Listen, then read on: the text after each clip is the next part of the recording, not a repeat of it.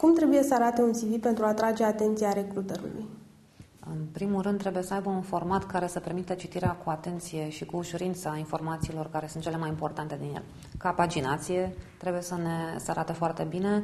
Doi, trebuie să includă într-adevăr și să pornească într-o ordine cronologică inversă de la locul de muncă actual, ideal în ordine cronologică inversă, în așa fel încât să fie unui recruiter foarte ușor să înțeleagă care este nivelul de experiență la care este în acel moment candidatul care aplică. În al doilea rând, ar trebui să aibă cu siguranță Uh, toate informațiile legate de joburile anterioare. O variantă poate să fie, dacă numărul colaborărilor este foarte mare, să fie trecute într-o, într-o categorie separată de colaborări.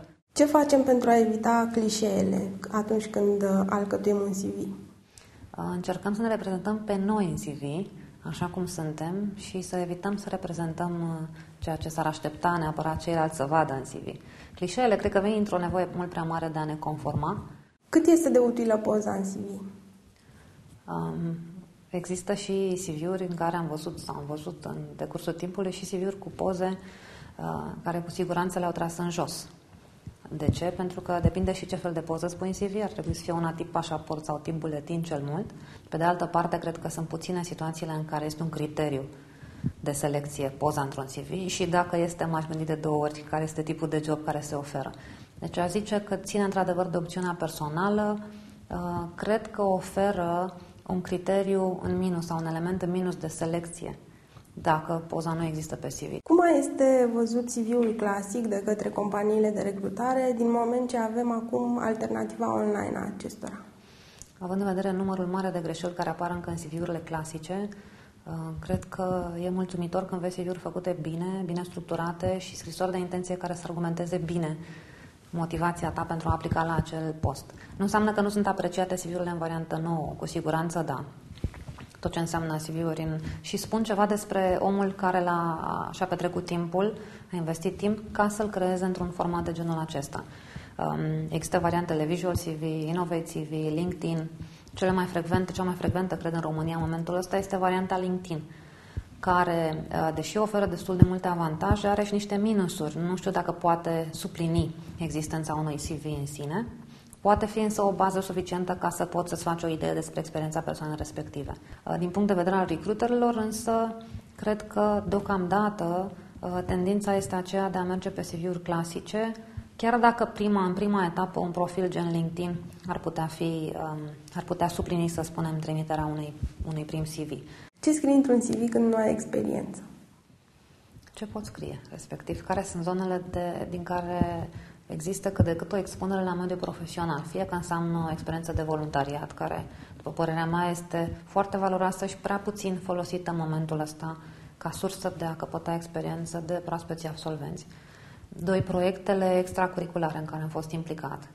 Um, normal, studiile, abilitățile care nu neapărat trăiesc din CV sau din studiile mele, respectiv limbile străine, cunoștințele de internet, prezența în social media, dacă este cazul, um, alte cursuri speciale pe care le-am derulat sau în care m-am implicat din pasiune, pentru că e un hobby special. Dacă sunt junior, nu am suficientă experiență, aș trece toate informațiile care pot ajuta un eventual recruiter să înțeleagă care sunt tipurile mele de abilități și care zonele mele de interes. Ideal, dacă am experiență de voluntariat, ar trebui să o menționez în CV. Și un CV de senior, cum ar trebui să arate? Într-un CV de senior, de persoană cu 50 ani de experiență, cel puțin în activitate, um, foarte important este să menționăm realizările.